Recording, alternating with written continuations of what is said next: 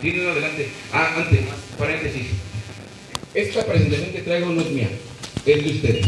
Entonces, al concluir yo sin ningún problema se las voy a facilitar, ¿vale? Para igual, porque obviamente si la quieren tener y para que tengan ese tipo de, de, de gráfica. Que si dan cuenta viene muy, muy bien, viene muy bien explicada. Te comentaba, profe, es el pulgar y aquí abajito viene lo que es el escafoides. Ese escafoides es uno de los más lesionados en nuestra disciplina y me llama la atención. ¿Por qué? Porque si yo tengo conocimiento de que esta lesión puede ocurrir, porque todos estamos de acuerdo que la mano, el boxeo es antinatural, la mano no está diseñada para golpear, la mano está diseñada para sujetar. Luego entonces, mi disciplina, dentro de todos los parámetros que ya sabemos de la complejidad que representa, todavía aún así atento contra ella, ¿vale? Entonces nosotros tenemos que tener la particularidad de poder que me ayude a evitar este tipo de lesiones. Ok, ahora, yo como, como entrenador y también un poco como metodólogo, he encontrado una correlación en las etapas de entrenamiento con el vendaje. Y esto atiende también un principio del entrenamiento deportivo, que es el, es el principio de especialización y el principio de adaptación. ¿Vale? ¿Por qué? Y lo voy a poner muy fácil. ¿Por qué cuando nosotros nos vamos, nuestros atletas, por se van acercando a su prueba fundamental? ¿Por qué ya les empezamos a poner el vendaje que van a utilizar en la competencia? Porque se tiene que adaptar. ¿Cuántas veces no pasa que los vendamos con... He visto profes que los vendan con... Ocupan dos vendas, ocupan dos vendas y media, dos vendas y un colchón, o ahora ya con toda esta parte hasta de mercadotecnia que hay, en donde hay este sustituto de venda, ¿no? Y me llama la atención que ese sustituto de venda probablemente lo hizo alguien que desconoce de la disciplina, porque el sustituto de venda no, no trae protegido el pulgar para empezar, ¿no? Entonces eh, ahí ya cae en una incurrencia. Entonces yo tengo que atender a esa necesidad, ver que no tiene y subsanar. Ahora fíjense, vendaje y entrenamiento en una etapa de fuerza y o periodos de choque. ¿Quién me dice que es un periodo de choque? Que no sea el profe. no, profe, gracias. Este, ¿No? No, ok. Una etapa de fuerza. Bueno, entonces sí, por favor, ayúdanos. El periodo de de choque es cuando se establece ya un- de. ¿Ok? Hay una particularidad en, las- en las- en los periodos de choque que tiene que ver con dos factores, principios de la carga, alta intensidad y volumen alto también. ¿Qué quiere decir? ¿A qué me refiero si yo les digo que mi unidad de entrenamiento tiene una particularidad y tiene un alto volumen? ¿A qué me refiero con el volumen? Cantidad. Ok. Quiere decir que a lo mejor mis entrenos hoy van a, su unidad de entrenamiento va a durar a lo mejor 90 minutos, 120 minutos, dependiendo. Entonces, fíjate, dice, esta etapa se caracteriza por tener estímulos de alto impacto y de mayor contracción muscular, buscando reclutar el mayor número de fibras musculares. Predomina el volumen sobre la intensidad. Fíjate, ya utilicé dos palabritas de entrenamiento. Predomina el volumen sobre la intensidad. ¿Qué quiere decir? Que voy a buscar desarrollar la fuerza en mi atleta, pero no necesariamente lo tiene que hacer rápido. ¿Vale? Por ejemplo, cuando utilizamos un medio auxiliar como la gobernadora, nosotros sabemos, bueno, ya damos a veces hasta por entendido que la atleta sabe que tiene que tener un buen, una buena parada de combate, un buenos anclajes, movimientos eh, rotatorios a nivel técnico para poder generar un buen, un buen golpe eficaz, pero sobre todo, ¿qué dicen? Potente. ¿va? Fíjate, ya hablamos de potencia y estamos hablando de dos capacidades físicas mixtas, la rapidez y la fuerza para desarrollar la potencia. Entonces, muy probablemente la potencia se caracteriza por ser estímulos muy altos a niveles máximos y submáximos, pero ¿saben qué? Que carece de rapidez. Luego entonces, si yo hablo de potencia, pues no voy a hablar de una combinación de más de cuatro o cinco gestos, una combinación corta. Entonces, ahorita lo que vamos a desarrollar, porque esto es teórico práctico, nos vamos a ir enriqueciendo entre ustedes y yo, y hay una propuesta que traigo eh, con dos vendas, vamos a utilizar ahorita una venda, vendas, este,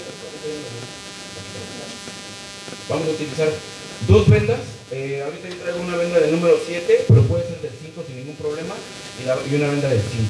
Y vamos a pasar a alguien que me quiera apoyar para poder realizar el vendaje, y vamos a ir atendiendo a las necesidades que les platico acerca de... Ok, correcto.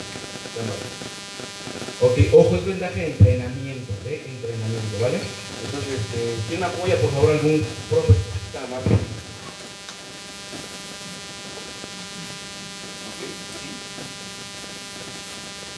Entonces, quedamos un vendaje de entrenamiento enfocado que tiene una correlación con una etapa o periodo de fuerza, en donde yo voy a tener, donde yo así que mi atleta va a buscar reclutar el mayor número de fibras musculares porque lo que quiere es desarrollar es la fuerza. Luego entonces, con la venta, con una venta de 7 ahorita, traigo una venta de 7, pero puede ser de 5. Vamos a hacer un colchón, manténla lo más extendida que puedas tu mano. Ahorita lo que voy a hacer primeramente es un colchón. Sí, claro. Más extendida. ¿Por qué le pido a mi atleta que tenga la mano extendida? Ah. ¿Por qué le pido a mi atleta que tenga la mano extendida? ¿Quién me dice? O sea, ¿por qué así y no así? Para que. A ver, profe. Buenos días. Buenos días. Es para darle mayor extensión a los músculos o a las Claro. articulaciones Sí. y al momento de hacer el vendaje, el, este, la mano va a sufrir diferentes este, tensiones. Así que debe de irse acostumbrando y ajustando el vendaje según la tensión y fuerza que va a lo largo del vendaje. Exactamente. Entonces yo le voy a pedir que la tenga en extensión porque como yo voy a ir haciendo un movimiento que va a ir apretando, que va a ir haciendo una contracción, o sea, yo estoy haciendo una fuerza, entonces si yo tengo la mano así, muy probablemente el vendaje le quede apretado. ¿Y qué pasa? ¿Qué pasa si ahí está muy ajustado? ¿Qué es lo que-. Exactamente. Cortando la circulación, ¿qué crees que ya no vas a tener poder, no vas a tener eh, una, una, una circulación adecuada y sobre todo va a, va a empezar a tener síntomas a lo mejor de fatiga, porque no, es- no hay un riesgo eh, de torrente sanguíneo idó- idóneo para la disciplina. Ok, aquí ya le hice su, le hice, cierro la, así, este, perdón, este, junto a los dedos, saco y aquí voy a tener un pequeño colchón, le di cinco vueltas. Este colchoncito lo voy a poner ahora sí, voy a volver a pedirle al, atleta que tenga su mano en extensión y lo que voy a hacer es pasar primero por aquí.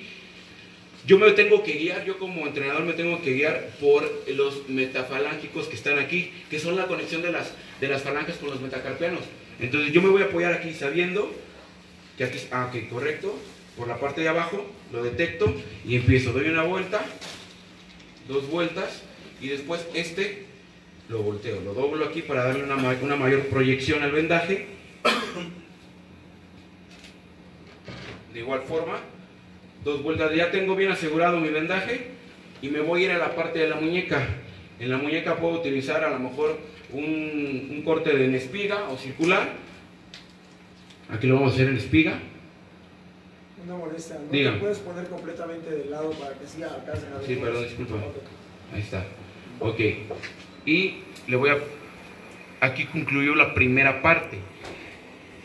¿Qué, qué decíamos nosotros? Pues vamos para atrás. ¿Qué decíamos nosotros?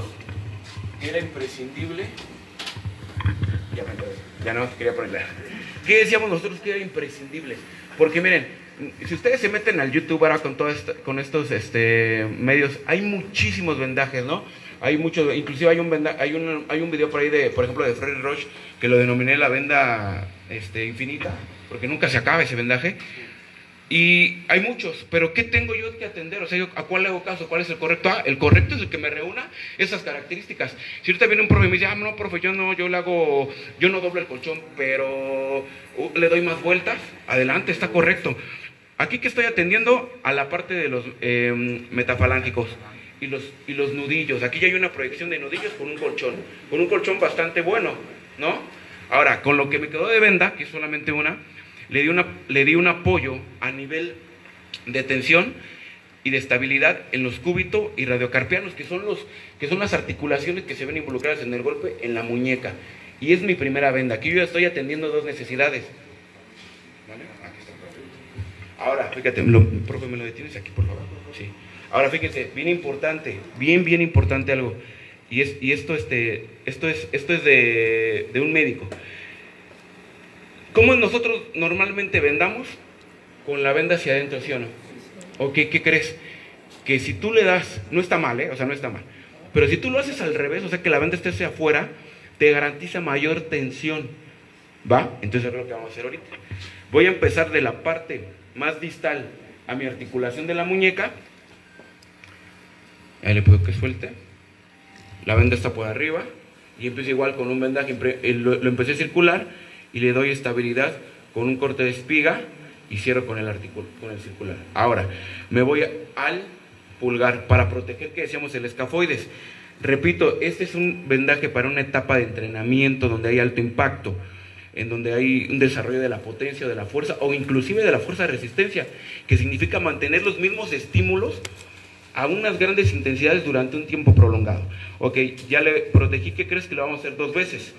Ahí está, dos veces en la parte del pulgar, protegiendo y asegurándome que el escafoide ya está salva- salvaguardado. Ok, ahora me voy con la parte de los anillos. Aquí también hay muchas, em, pues muchas teorías, ¿no? Pero básicamente lo que tiene que, la función del anillo es proteger, evitar, perdón, la luxación a nivel de los nudillos, de interfalángicos, que son los, el huesito que tenemos aquí. Dígame, profe. Este, una pregunta. Dígame. En el vendaje de la muñeca, Sí. ¿no sería factor principal hacer un tipo de cruzado? Exacto, sí. Es el, es el vendaje de tipo espiga. Es el que estamos utilizando cruzado para poder... eh, pero ¿por, por qué es más favorable? Porque las, los músculos, como les comento, nosotros estamos atendiendo una necesidad anatómica. Y esta necesidad anatómica tiene que ver con un músculo extensor que se origina en la parte humeral eh, del, del codo y acaba en las falanges. Fíjate, o sea, es desde aquí hasta acá. Entonces el profe acertadamente dice, pues un vendaje a nivel, eh, perdón, que sea cruzado, me va a ayudar a tener una mayor tensión y sobre todo va a atender a la misma necesidad anatómica de la mano. O sea, eso ya está hecho. Ok, en el anillo, no lo voy a ahorcar para evitarme problemas de circulación. Entonces, donde entra, entro por fuera y voy a pasar y voy a salir hacia el, hacia el mismo lado por donde empecé. No lo estoy ahorcando. Paso y aseguro la venda por abajo. Me voy a pasar hacia el otro lado porque tiene que ser en extremo porque estoy respetándolo. Ese principio en donde viene en forma cruzada. Voy a pasar a asegurar por abajo y de igual forma acabo con los cuatro. Aquí, tien- aquí tengo un vendaje funcional. Miren por el último. En donde no estoy ahorcando ningún dedo. En donde estoy dándole protección. Y voy a acabar en la parte superior.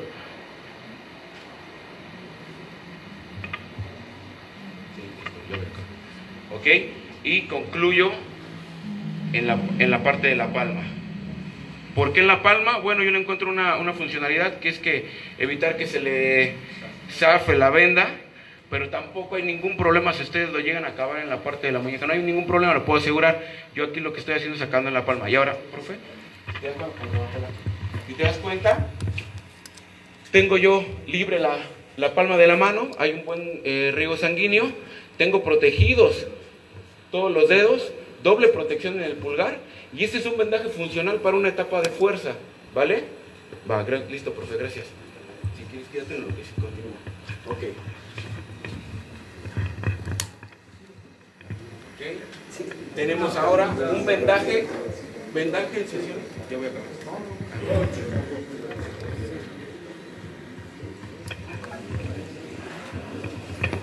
Ok, seguimos. Vendaje en sesión de alta intensidad. Mande. Sí, no, no, para eso estoy. Es un, son, ocupé dos vendas.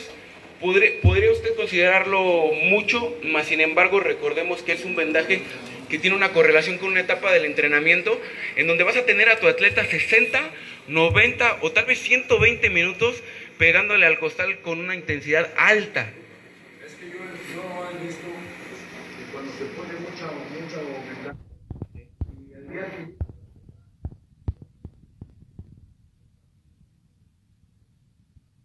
Claro, sí. No, estás correcto.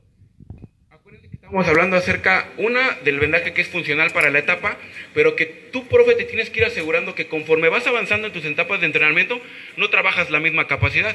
Va a haber periodos en donde le vas a dar proyección a la etapa de la fuerza, en un, ¿qué te gusta? Un mesociclo, por ejemplo, en un mande. Eh, dos vendas considero que es una persona montada en buen tamaño, una, una Sí. chica pequeña o una adolescente con una mano pequeña, hasta un y medio no puede Es correcto, es correcto. Sí, eh, recordemos, buen aporte, profe, que uno me, me recuerdas esa parte. Recordemos que el atleta puede tener a lo mejor, eh, por ejemplo, ahorita el profe tiene una mano promedio, pero podemos tener, a lo mejor se me ocurre, eh, que tuvieras un atleta eh, ajá, peso completo, de talla, de talla grande, muy probablemente su mano sea muchísimo anatómicamente más grande, su segmento corporal sea más grande, y que podrías tú que atender, te repito, la necesidad del atleta, ¿no? Pero básicamente lo que quiero conceptualizar es la etapa con la etapa del entrenamiento con el uso de una venda que te ayude para tu etapa, nada más. Ahorita vamos, por ejemplo, en la parte donde hay sesiones de Amigos, ¿me pueden comentar si este, se ve bien la se ve bien la, la imagen, el audio?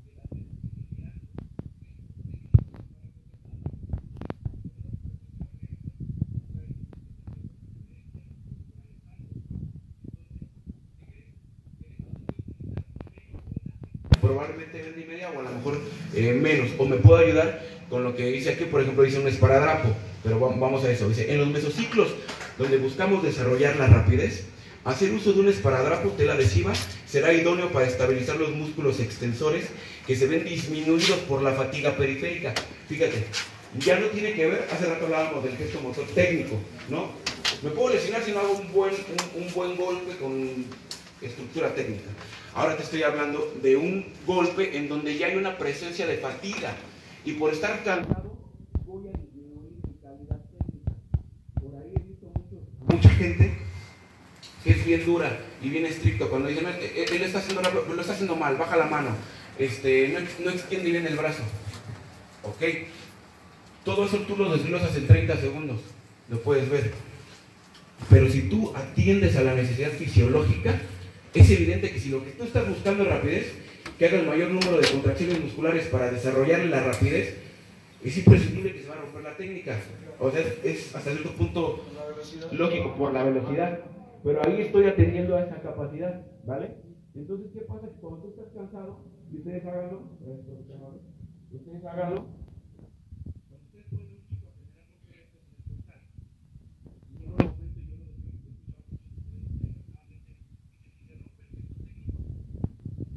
ya no sirve. ¿Y por qué no sirve? Pues por, esta, por esta cuestión. Porque ya, ya estás atentando contra la técnica, ya no hay una buena disposición energética tampoco, y lo único que va a pasar es que te vas a terminar lesionando, ¿no? Entonces, ahora vamos a utilizar, por ejemplo, una venda de las de Big Ben, por aquí la tenía, ¿no una negra? O Big prestan una, una venda, pero de las que tienen, no, colchón, pero de las que tienen... ¿Velcro? Velcro, de las que tiene, como la del tigre que me diste. Hay, hay una parte que es importante también señalarla. Como yo voy a, voy a trabajar sobre, ándale, voy a trabajar sobre la parte de la capacidad física que tiene que ver con la, con la intensidad y con la rapidez. Entonces, ¿qué crees que me dice la regla y me dice la metodología? Me dice, ¿por qué no te apoyas de un esparadrapo? El esparadrapo es una tela adhesiva. Ustedes pueden utilizar una tela adhesiva. ¿Con qué finalidad? De inmovilizar. Es cierto, ¿no? Que, por ejemplo, en, en lo que se busca es hacer un tipo férula. Por ejemplo, de base profesional, ¿no? tipo férula que estabiliza, pero sobre todo que le va a dar una protección importante. Pero no me voy a meter en ese tema, me meto en la parte de entrenamiento. O sea, ahora fíjate, le encontré una, una funcionalidad bien importante a una de las ventas de Big Ben. Quiero pensar que por eso las desarrollé así. Sí, ¿Sí? Vamos a tratar de que nos vean todos. Ya voy a, ya voy a concluir, ¿eh? ya, ya estoy por concluir. Baja el micrófono. ¿no? Volvemos a, volvemos a lo mismo. Ahora esta, esta el está micrófono. diseñada para empezar hacia, hacia adentro. No, de la- Gracias. Ahí está.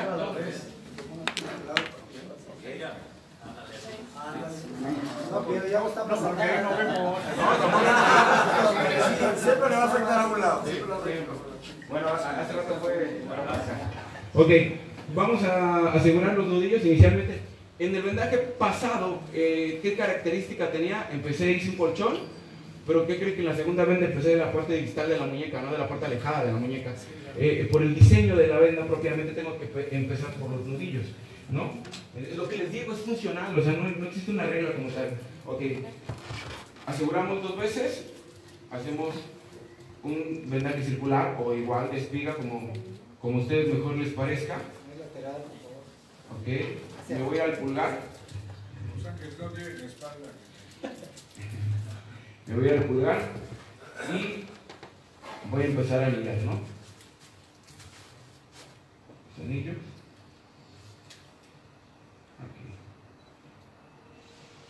Puedo hacer igual 4 y ahorita les voy a enseñar uno de 3. O bueno, este de una vez, para que no, para ahorrar. Ya conocen ese que ocupo todos los, todos los anillos. Ahora, empecé igual por la parte este, lateral. Al final yo ya no voy, estos dos dedos ya no los voy a anillar. Para darle mayor estabilidad y utilizar el poco, la poca voy a ahorrar venda. La voy a utilizar mejor en la muñeca. Voy a pasar simulando por atrás de los nudillos y voy a subir en la parte del medio. ¿Vale? Y le damos un poquito de estética y posición en la parte de los nudillos.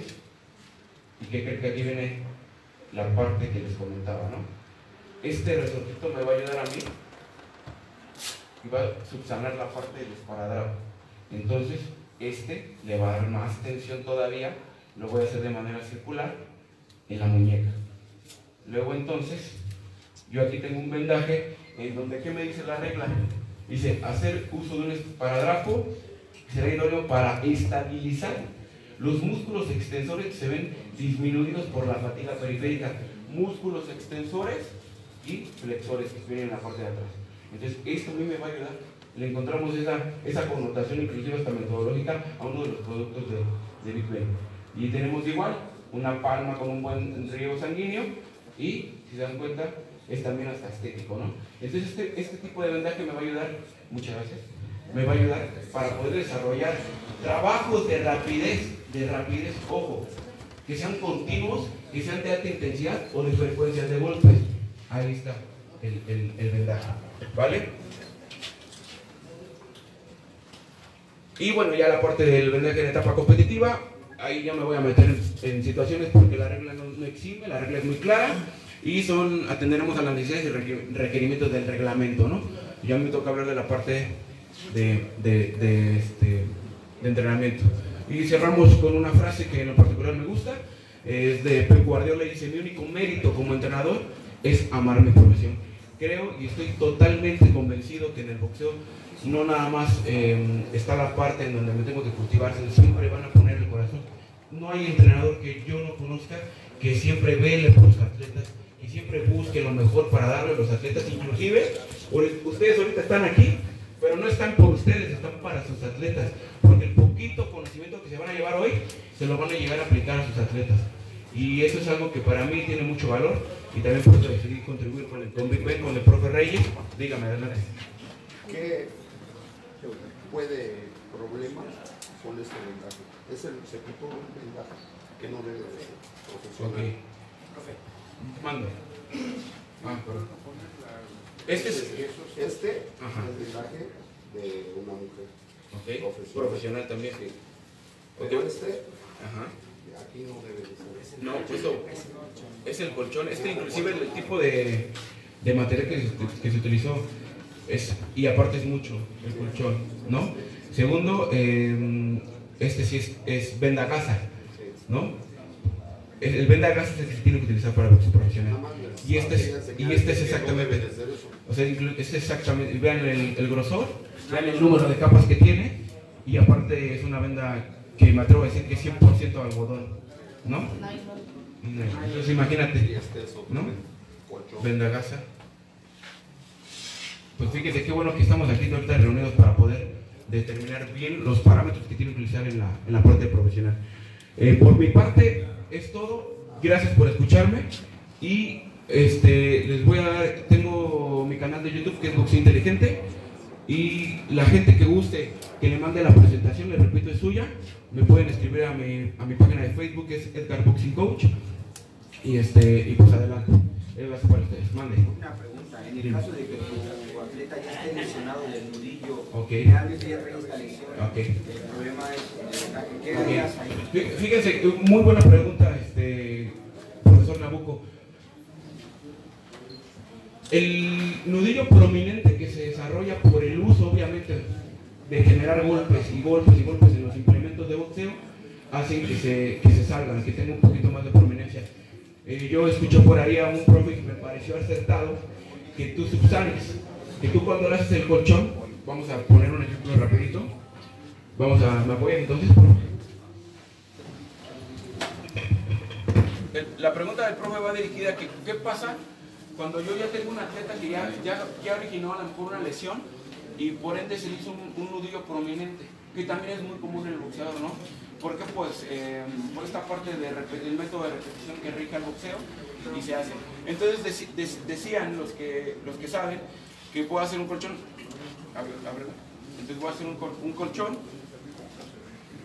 Más del lado que se pueda. Sí, sí, perdón. Gracias. Ok. Del lado. Voy a juntar los dedos. Ok, voy a- aquí ya tengo mi colchón, simulamos que tengo mi colchón y yo voy a cerrarlo ahora y yo al ponerlo me doy cuenta que donde necesita a lo mejor, vamos a ponerlo así como re- rezaglar ahí, vamos a utilizar entonces, vamos a darle ahí al, al colchón le, da- le daríamos dos vueltas más o menos aproximadamente para que quede lo mayor posible uniforme, por así decirlo, uniforme. Entonces, por así decirlo, ¿no? Entonces ya aquí ya que lo tenga, ábrelo otra vez este nuevo y ahí yo voy a empezar mi, mi vendaje atendiendo a la parte, ya la parte que tenía más prominente, ahí sigue, a la lesión exactamente, y emparejé, si te das cuenta, y sí es cierto, mira, ve, tú tienes esa lesión precisamente. Y mira, ahí, ahí queda un, un vendaje totalmente regular, ¿no? Y bueno, ya con todo lo que vimos, ya no quiero quitarle más tiempo a los demás ponentes. ¿Vale? ¿Alguna otra duda esto para servirle? Diga. Ese tipo de lesiones se pueden prevenir como que había comentado. Es correcto, es correcto. Dependiendo, dependiendo de las características de, de tu boxeador, ¿no? Es el colchón que lleva, por eso no lleva un número, un número acertado de vueltas. Depende. Exactamente. Sí, de ventas tampoco. Ni de vendas tampoco, ¿no? Este, dígame, profe. Pregunta. Sí, claro. Entre el vendaje profesional y el, el amateur hay dos diferencias. Se usa un material de algodón como la venda que estamos usando ahora, como un de entrenamiento y vendaje profesional de venda de gasa. Ahora, ¿cuáles son las proporciones? ¿Por qué para una cosa, eh, por qué para profesional venda de gasa? Bueno, pues inicialmente, por, como vas a utilizar un... La ventaja del, del, perdón, de- de- del vendaje amateur en ese tipo de vendaje, en ese Bueno, material. Sí, es hasta cierto punto, eh, es tan simple como compleja tu pregunta, porque ah, recordemos en la parte del entrenamiento, nos estamos utilizando implementos medios auxiliares, como una gobernadora, un costal, manoplas de carga, bla, bla, bla. Luego entonces yo tengo que atender a esa necesidad, pero en la parte combativa, en la parte profesional, tú no le estás pegando un costal, tú ya le estás pegando un rostro, ¿no? Para empezar. Luego entonces la venda gas es más cordial. Si ustedes se dan cuenta, y ahorita lo van a ver con los profes, en el desarrollo del vendaje profesional, el vendaje, utilizas tú el esparadrapo antes, un dedo antes de llegar a los nudillos, por ejemplo, porque no puedes atentar, porque lo golpe, ¿cómo lo, lo generas? Con los nudillos. Entonces ahí lo único que va a tener intervención es la venda gasa, porque es más cordial. Esa sería la diferencia principal, que en una utilizas implementos auxiliares que están rellenos de acerrín, de tela y otro, pues atenta- vas contra, contra huesos, ¿no? ¿Sí? Luego, Pues les agradezco mucho la atención. Bien, bien, bien. Muy bien. Gracias, hermanito. Muchas gracias. Y les agradecemos nuevamente a todos ustedes por haber asistido a este curso. Todavía sigue.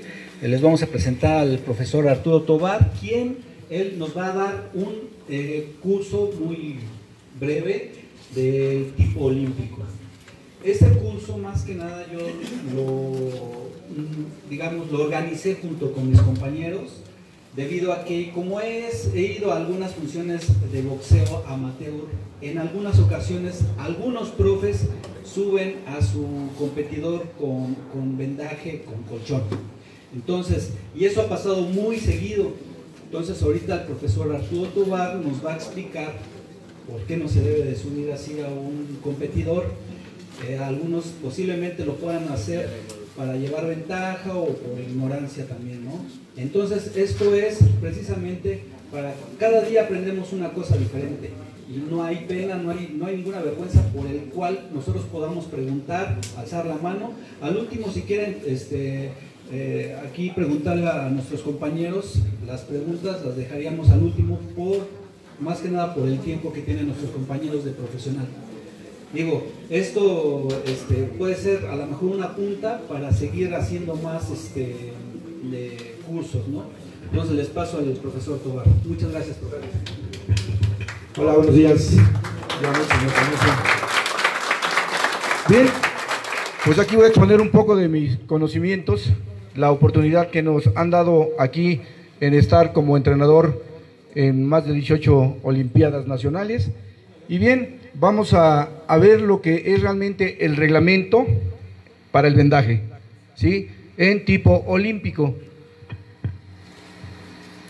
Bueno, presentamos aquí parte de la anatomía de la mano, la importancia del vendaje, ¿sí? son los temas que, que vamos a estar dando. Como vieron, ya el licenciado Edgar ya mostró cuáles son los, los huesos que componen la mano, ¿sí? Y aquí tenemos ¿sí? el por qué es tan importante un vendaje, ¿sí? El propósito del vendaje es proteger la arma más importante del boxeador. Sus manos, las manos están compuestas por pequeñas uniones de huesos que pueden fracturarse fácilmente por el impacto de los golpes respectivos, ¿verdad? Las vendas son para sortilaca de las manos y darle apoyo a las muñecas, dedos, nudillos y a toda la misma mano. Bien,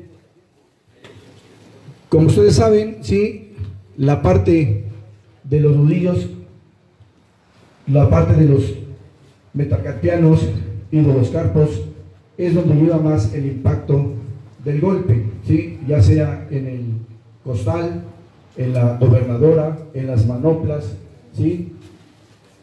Y esto nos da a que si no tenemos un buen vendaje, una aplicación de vendaje, ¿sí? Pues no estaríamos protegiendo y sobre todo haciendo lo principal que es una prevención para eh, nuestros boxeadores, ¿verdad? Porque si una lesión en un metacarpiano, en la propia muñeca o en, unos carpos, pues prácticamente le estamos diciendo adiós al, al box porque cada rato vamos a estar ¿sí? con lesiones, lesiones. ¿Cuántos no? Los boxeadores tuvieron que retirarse porque las manos se les ponían, váyame la expresión, como jitomates ya maduros, ¿verdad?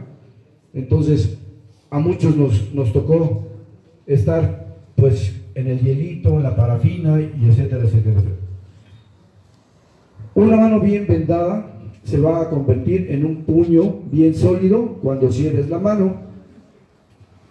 Un mal vendaje puede provocar la lesión en una mano o ambas manos, ya sea en el entrenamiento o en la propia pelea. Y una lesión en las manos o en una sola mano puede hacer la diferencia entre la victoria y la derrota.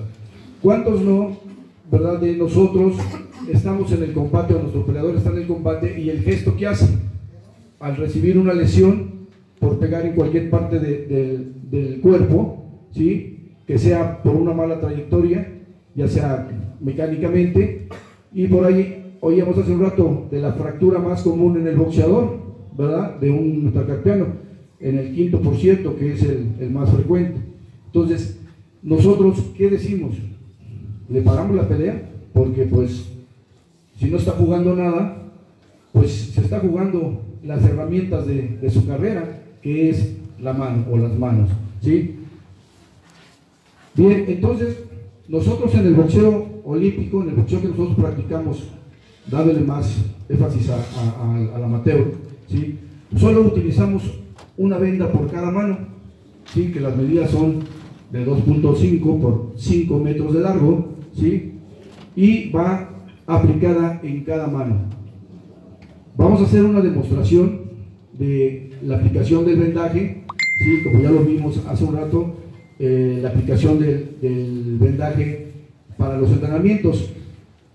Y se comentaba también que hay una parte de la adaptación ¿sí? a la hora del, golpeo. Nosotros en el, en el boxeo olímpico, pues prácticamente tenemos que tener la base de los nudillos totalmente desprotegida, ¿sí? Porque como ustedes saben, pues no se utiliza colchón por reglamento, ¿sí? Bien, si alguien nos, puede ayudar al profesor Alejandro.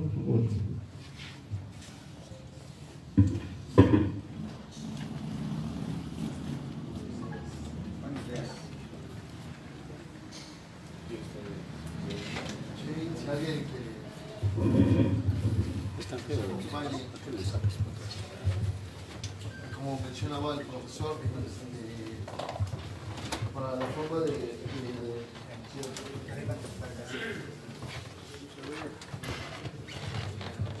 para la competencia este, se maneja una sola venda sin colchón protegiendo lo que es la muñeca Va a ser muy poquito y no, lo van a entender. Y el, Pulgar. A las 10, a las 11. De 11 a 12 y los nudillos. Sí, pues que no. El día de hoy por reglamento se puede manejar desde un solo anillo Cuando compren los también los puedo dejar. Y entonces ahorita les explicamos bien para que vemos bien el curso ese. Porque se tarda mucho. ¿Sabes qué? Ahorita les digo. ese poder a este, el por reglamento que va a ser es de un 12, anillo y de todos los anillos el día de hoy a las 11. Donde quede firme sin colchón protegiendo lo que es la muñeca y los lo este es el dar. vendaje eh, de competencia y un solo anillo ¿Quieres manejar el vendaje? Muy bien. Bien, como ya vieron la aplicación del vendaje, fue una aplicación descendente de la parte proximal de la muñeca hacia el cúbito y el radio y baja hacia los carpos y a los metacarpianos. ¿Que alguien me ayuda a mí para hacer el vendaje?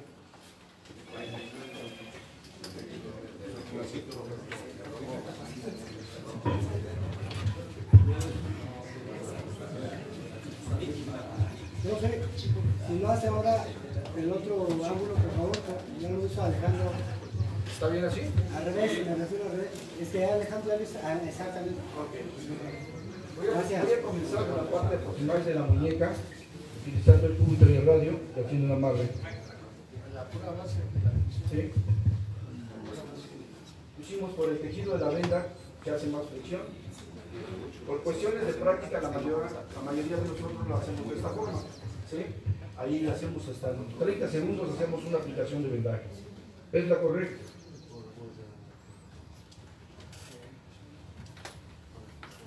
Ponemos. Aquí yo le indico a, a mi peleador, ¿sí? todo un poco, aquí un poco.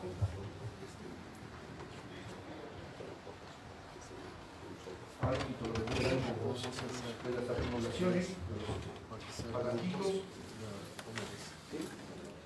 Le pido al atleta que cierre el puño para controlar un poco los dos músculos extensor y defensor y aplique. Le dice que a las 11. El otro día.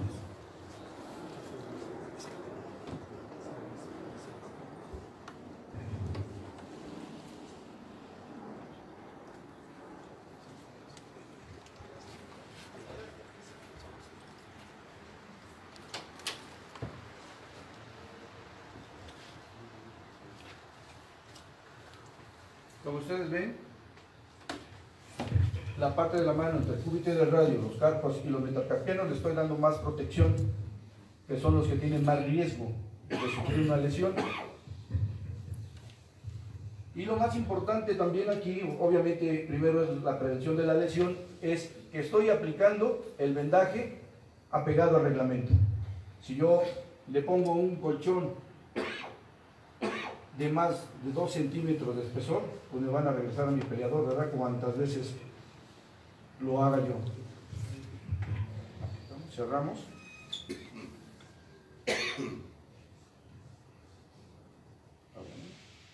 Bien. Volteo.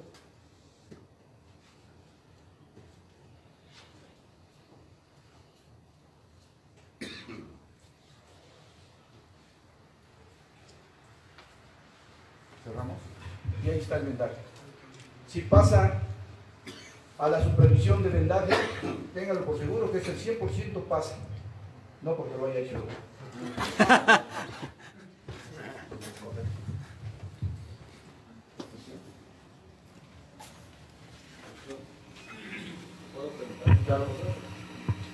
La primera es, yo en la Olimpiada Nacional que que la práctica de subestirar la venda con nueva. Eh, yo tengo, yo tengo una información, pero quiero saber si ustedes me la pueden comentar.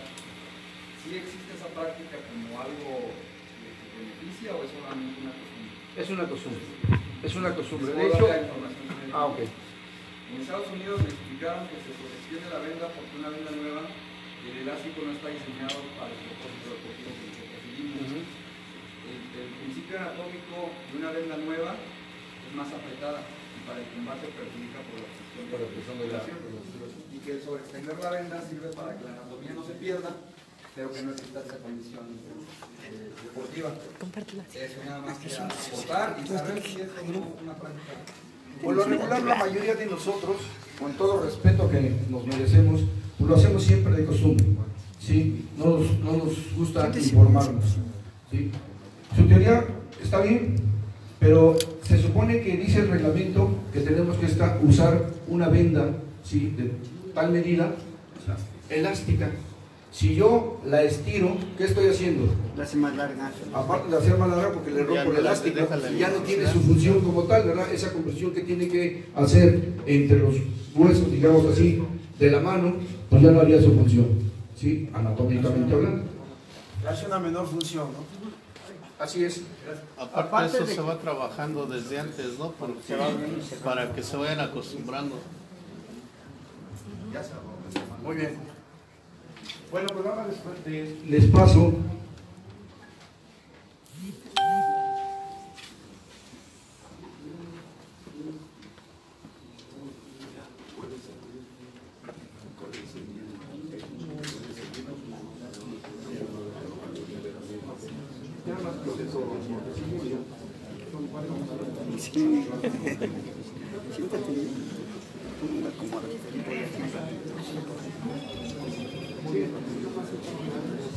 Sí. Bien, nos comentan que por cuestiones de tiempo, pues ya se nos acaba nuestra participación aquí, junto con el profesor Alejandro Mendoza y un servidor Arturo Tobar. Sí, igual estamos aquí.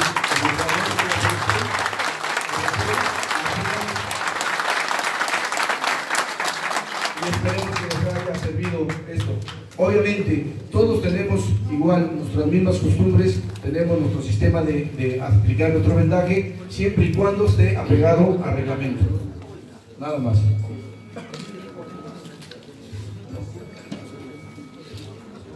Bueno amigos, este, eh, por cuestiones de, ahora sí que de tiempo, como estaba comentando el profesor, si se va a quedar pendiente el vendaje profesional, los que ya tengan su, este, su kit, pueden asistir la semana. El profesor eh, Reyes eh, ahorita tiene una junta importante, el tiempo fue muy rápido, se fue muy rápido, a pesar de que empezamos 15 minutos después, pero dentro de 8 días el profesor va a dar toda la hora completa. Sí, porque Este, no nos va a dar tiempo ahorita de, de hacer el curso nada más, ni, ni terminarlo, ni empezar bien. Vamos a empezar con carreras. Entonces, dentro de ocho días, el tiempo va a ser este, desde las 11 hasta las 12, 12 y media.